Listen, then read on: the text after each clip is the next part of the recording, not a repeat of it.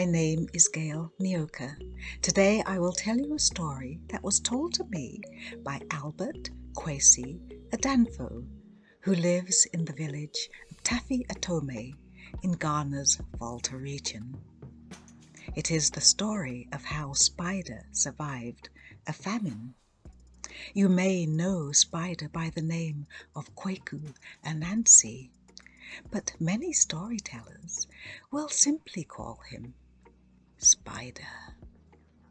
Who is Kwaku Anansi? Is he tall?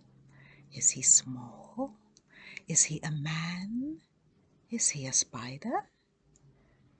He is all those things spider, man, small, tall. He is a shape changer. The only thing I can tell you for sure about Spider is that he is a trickster. And the only thing you can rely on with a trickster is, well, let me give you this example.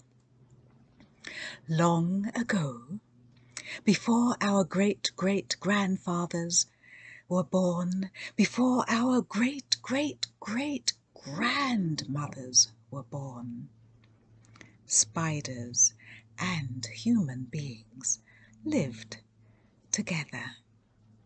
There came a famine in the land. The crops failed, animals were hungry, people were hungry, everybody suffered. The only place that had food was the king's palace. The king was rich and could send to far away lands to have food brought to him. Now the king's mother was old and she was sick.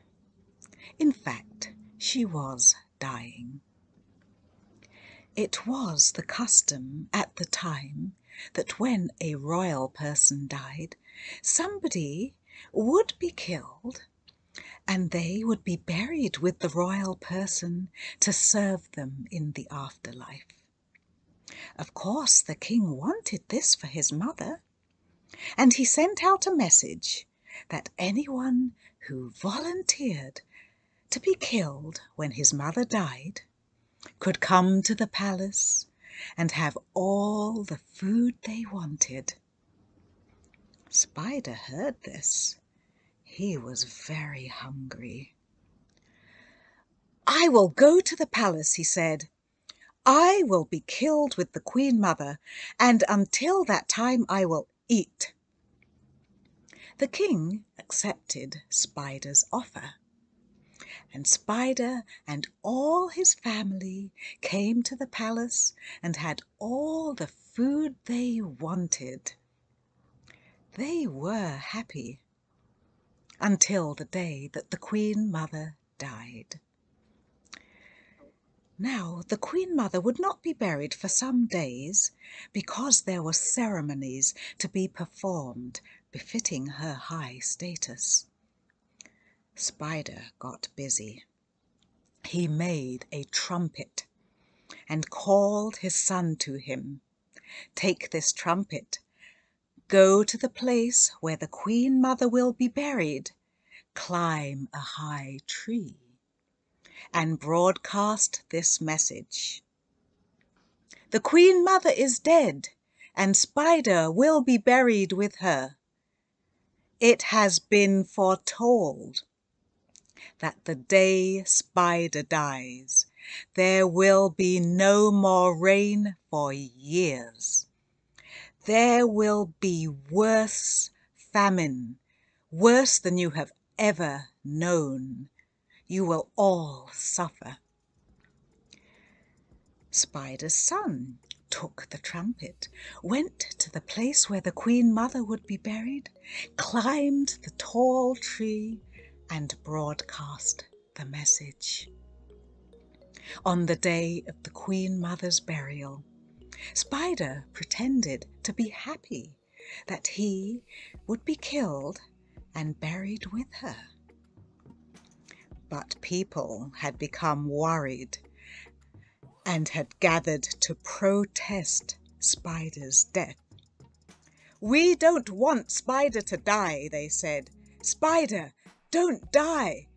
We don't want to suffer. You must live. No, no, said Spider. Let me die. I will serve the Queen Mother. But the people shouted, No, Spider, do not die. It is better that you take yourself far from here, far away from people. Well, if you insist, said Spider. And he took himself far away. Now you will see Spider's webs, sometimes in the bush or the woods, in your garden, perhaps even in the corners of your house. It is a reminder that once spiders and human beings used to live together. And that is the end of my story.